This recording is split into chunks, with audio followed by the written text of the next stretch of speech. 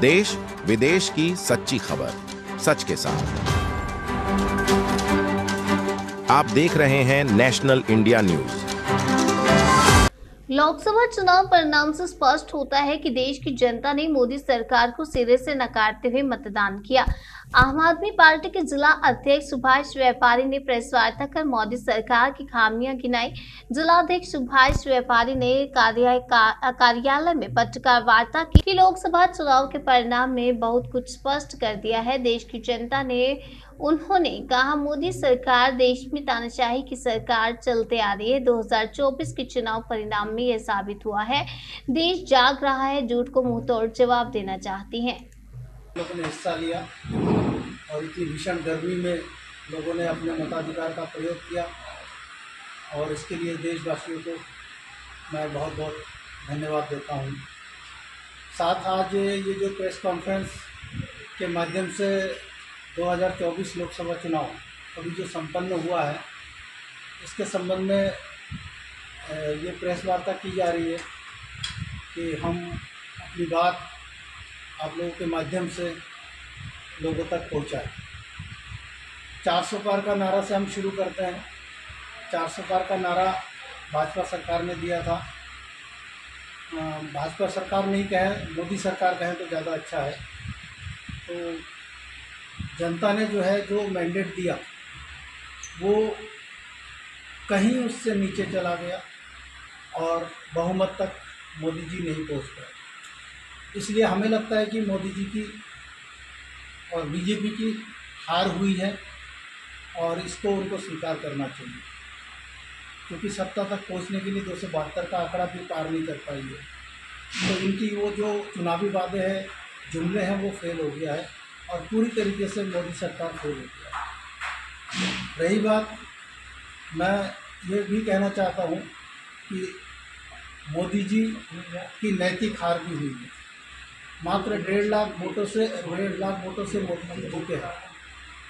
वहीं अगर देखा जाए, इंडिया अलायंस के राहुल गांधी, दो दो वायनाड से और रायबरेली से चार लाख से अधिक वोटों से वो जीते।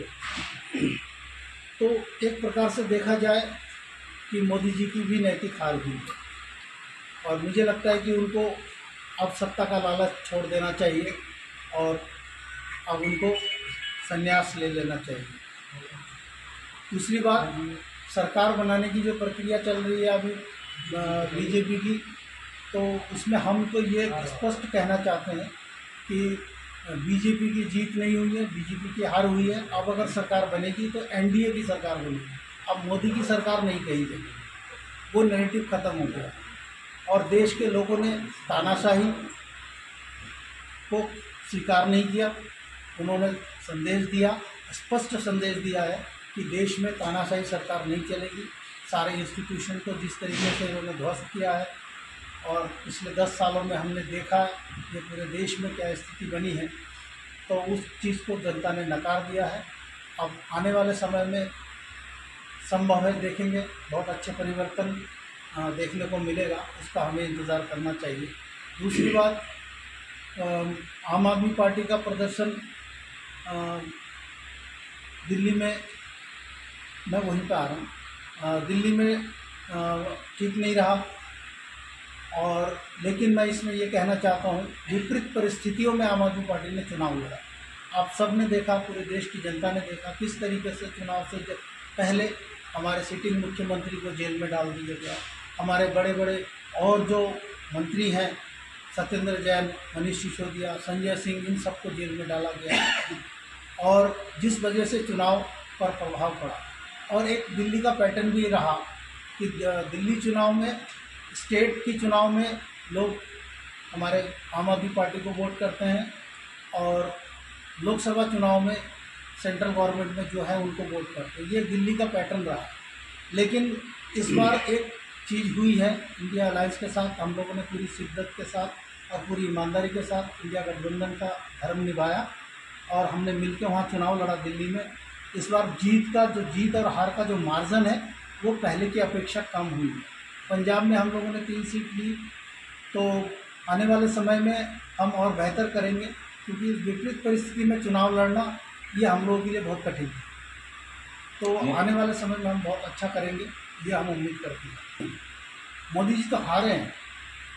मोदी सरकार बहुमत का आंकड़ा पार नहीं किया 240 तक पहुँचे। तो मोदी जी की, बीजेपी की, बीजेपी और मोदी की तो हार हो गई। अब तो वो बैसाखियों के सहारे सरकार बनाना चाह रहे हैं, एक नैरेटिव सेट करना चाह रहे हैं देश में कि जो है मोदी सरकार फिर से बन रही है। अभी मोदी सरकार नहीं बन रही है, इस पर समझने से, पूरी देश की जनता से मैं कहना चाहता हूँ, अभी मोदी सरकार नहीं बन रहा, अभी सरकार बनेगी तो एनडीए की सरकार बनेगी, वो भी बैसाखियों के सहारे, और वो कितने दिन चलेगी, इसमें भी संदेह है। लेकिन मैं ये भी कहना चाहता हूँ, संभव है कि इंडिया गठबंधन की सरकार बने और मज़बूत सरकार बने इस देश और ताकि इस देश के लोकतंत्र और इस देश का जनतंत्र बचेगा, इस देश का संविधान बचेगा। और एक महत्वपूर्ण बात, इस देश के लोगों ने देश की संविधान की रक्षा की है, देश की लोकतंत्र की रक्षा की है।